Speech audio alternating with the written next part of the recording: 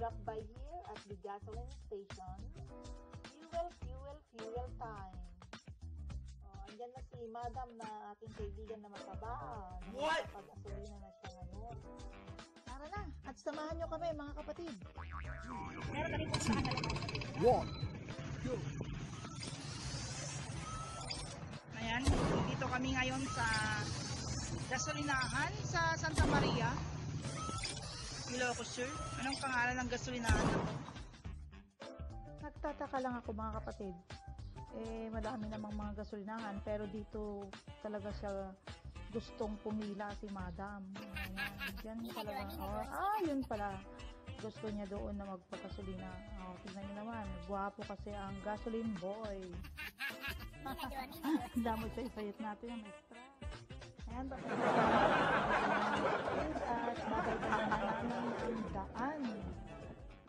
Ito yung National Road going to Narbacan.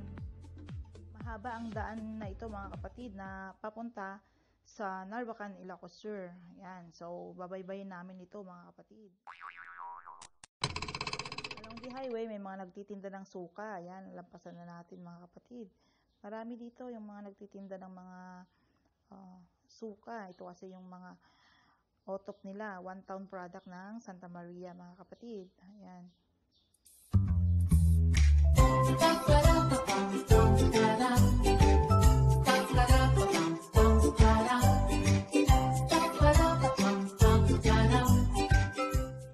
Ito, may mga suka dyan mga kapatid na makikita natin. Maraming mga nagtitinda. Ayan, suka din mga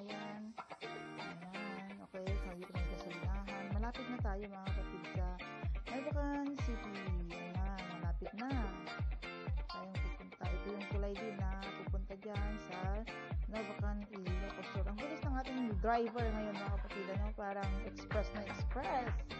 Expressway. Ayan, mabilis ang pagpatakbo ng ating driver.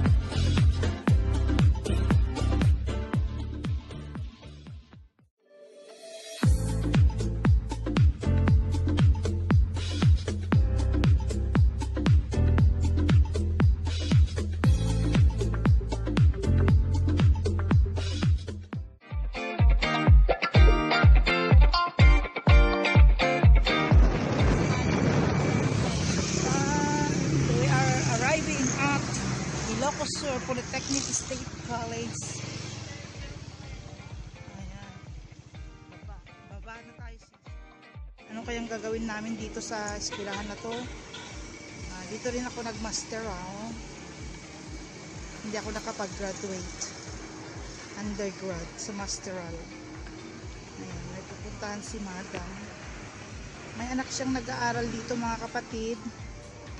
Mag ano siya ng uh, module. Ayan siya.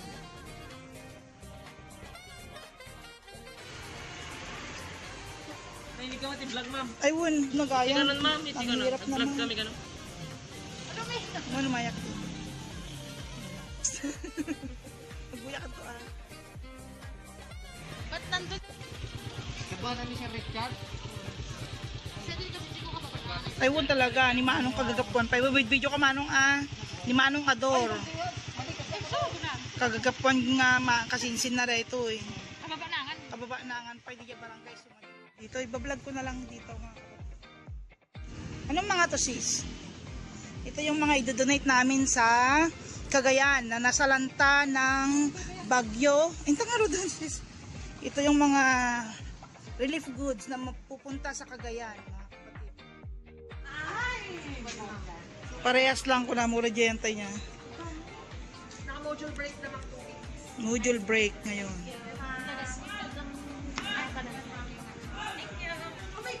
Ay, gatsang gini motor mo eh. Ay! May kamin! Parada mo nga mini Giant sis. Wrong parking tong si Madam.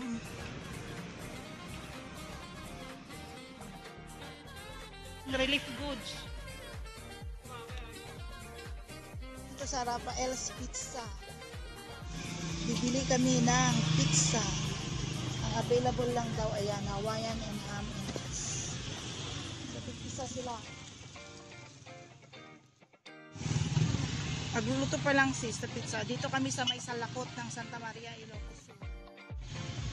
Parkingan naman dyan. Hinihintay niya kapatid yung kanyang order na pizza. Rafael's Pizza. Sarap niyan. Sarap to. Affordable lang siya. Ayan, 69, may 79. Ayan. In-order namin yung ham and cheese at saka yung Hawaiian. Pizza! Nakabili na kami ng pizza. Ayan, yung simbahan ng Santa Maria, Ilocos Sur.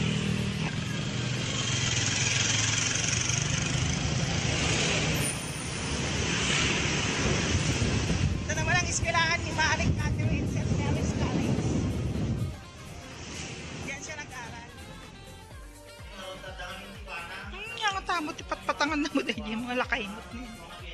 Kadila ka nagtugawa. Eto, meron kaming nabiling pizza from Rafael's Pizza na masarap. Ayan. So, i-unbox na natin ang pizza. Masarap ba ang pizza mga kapatid? Ito yung binili namin kanina sa Santa Maria.